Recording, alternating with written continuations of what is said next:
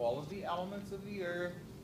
You see some discussion about uh, his own death, really. And um, it's very interesting that Francis often wrote, not necessarily about some high, you know, some on, some on high uh, axiom, but he often wrote about what he had personally experienced. And again, that's no surprise. Okay, um, so I'd like you, to, before you come to the November retreat, because uh, Father's going to work on the Testament uh, with us, that's one thing he's going to do. Uh, you know, review those pages, yes. I, I, this made me think of something, reading this canticle of Brother Sun.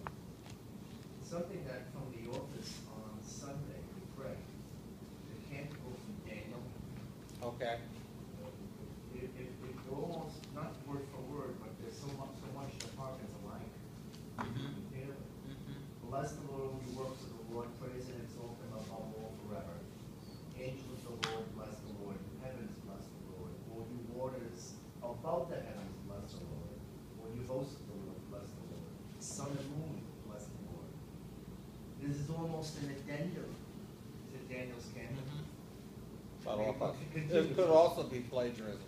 But, um, you know, uh, the other thing I want to say to you, now that you bring that up, is, you know, even the prayer, Lord, make me an instrument of your peace. Everybody says, oh, Francis wrote that. Francis didn't No, write that. No.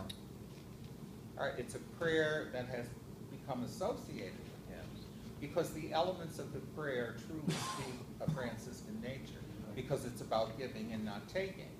All right, and Franciscans, of course, we're supposed to be the servant of the servants. And uh, so that's why we see those elements there. It's not uncommon as you go through some of the holy writings to see similarities. Uh, people could be inspired by something they've read, and they sit down and they write their own version of it. Um, and it's like I said last night, if you ever realize the number of the books of the Bible that we don't see, all right, that are in existence, the book of Peter, the book of Timothy, the book of Mary Magdalene, you know, there's so much we don't see. In the book of Mary Magdalene, I would love to get my hands on it. I got it. You do? Well, I'd like to see it because the reason is women, women really weren't allowed, uh, you know, to do scholarly things. I know that.